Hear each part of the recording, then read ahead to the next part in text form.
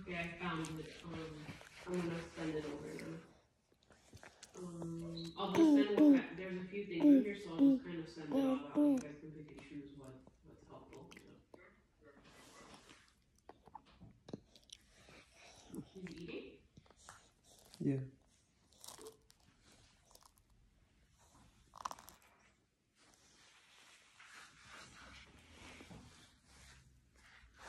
You just want the approval, or like you want also the financials?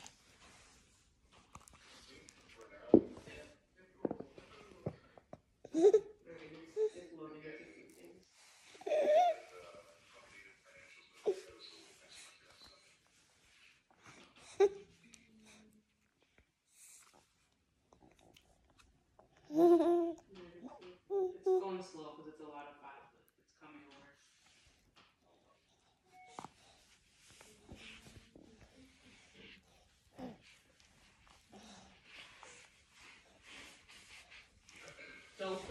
right away when it comes in from the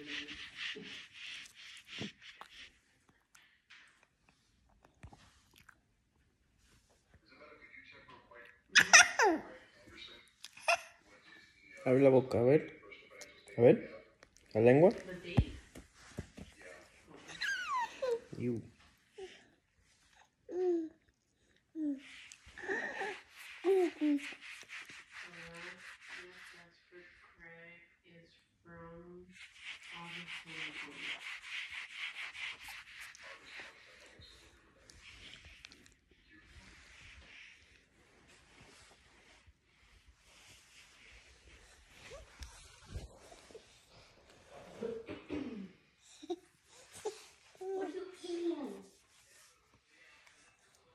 Pizza.